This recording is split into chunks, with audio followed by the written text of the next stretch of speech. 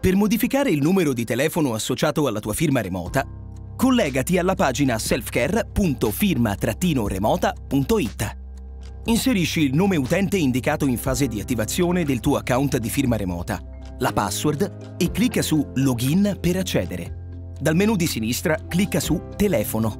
Nella schermata che si apre, digita la password del tuo account di firma remota e prosegui. Poi inserisci il codice OTP generato dal dispositivo associato al tuo account e clicca su Conferma. Nel pop-up visualizzato, inserisci il nuovo numero di telefono, preceduto dal prefisso nazionale e confermalo. Il numero di cellulare rappresenta un canale di contatto riservato e un importante fattore di autenticazione. Pertanto deve essere riconducibile ad un'unica persona.